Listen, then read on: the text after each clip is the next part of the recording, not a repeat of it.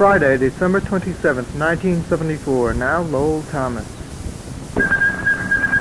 From Washington, from Portugal, from North Australia comes today's news. Good evening, everybody. This is Lowell Thomas for CBS News. The trial of the Watergate Five came to an end today with Judge Sirica all set to give the case to the jury on Monday. Chief Prosecutor James Neal urged the jury to return a verdict that will renew for Americans a confidence that their leaders will be fair, honorable, and just. Jack Benny, whose career spanned half a century, as you no doubt have heard, died in Los Angeles last evening. Typical of his offhand, low-key humor were his first words on radio some four decades ago. Ladies and gentlemen, this is Jack Benny talking, and now there will be a slight pause while you say, who cares? Jack was 80, but the last line of the Los Angeles Times lengthy obituary read, he was 39. Two months ago, we had a report he was ill. Soon after, he wrote me saying he was feeling much better, didn't feel too bad at any time, hoped to set out on another summer stock tour, and then he added, I promise to put in at least one new joke. A typical deadpan, witty Jack Benny remark. What a person he was, one of the great stars of our time.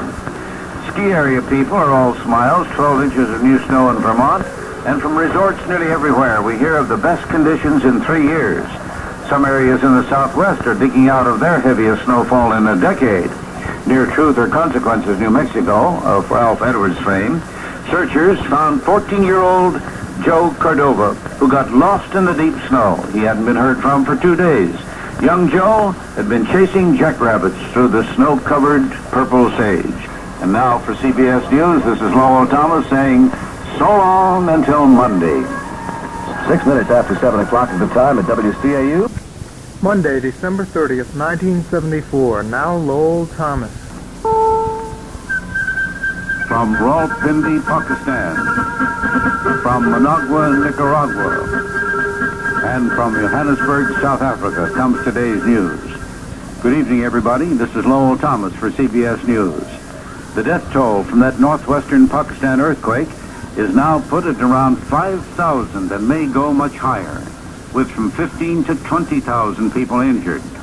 In a sudden change of plans, Soviet leader Brezhnev postpones his January visit to Egypt and to Syria and Iraq. Arab papers say the Kremlin is showing its displeasure with Sadat's recent statement ruling out a return of Soviet advisors to Egypt as a condition for accepting Soviet weapons and supplies. But some say that the postponement may be because of ill health. As expected, federal judge John Sirica today sent Watergate to the jury. In his charge, the judge told the jurors, nine men and three women, neither the pardon of former President Nixon nor any other cases or extraneous matters should have any effect on your deliberations or your verdict, said the judge. In a lengthy statement from Bethesda Naval Hospital, Congressman Wilbur Mills today blamed his recent erratic public behavior on what he termed a drinking problem. The Arkansas Democrat, former chairman of the House Ways and Means Committee, acknowledges that he considered resigning from Congress, but has now decided to stay on and not permit the problem to spoil his career. In his statement, he also vows to quit liquor, which he also says caused him to suffer blackouts plus fatigue. In anticipation of an American rush to buy gold, the price of gold today hit the record high of $201.40 an ounce in Paris. Prices fell later as traders sought quick profits. Tomorrow, for the first time in more than four decades, Americans will be allowed to buy, sell, and own gold bullion.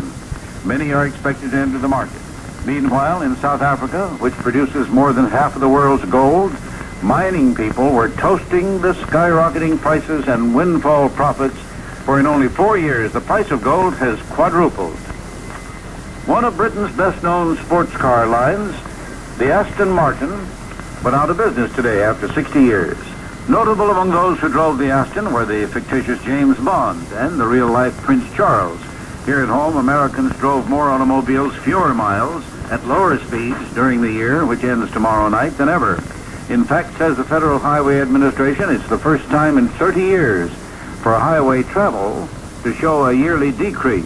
This despite the presence of more roads and more cars on those roads. For the first time since the days of Thurston and Houdini, rabbits again are leaping out of hats. Valuables disappearing under handkerchiefs. Buzzsaws whirring toward boxes containing beautiful girls. So says the National Geographic. As we say for CBS News, this is Lowell Thomas saying, so long until tomorrow. The last day of 1974, Tuesday, December 31st, 1974. Now Lowell Thomas.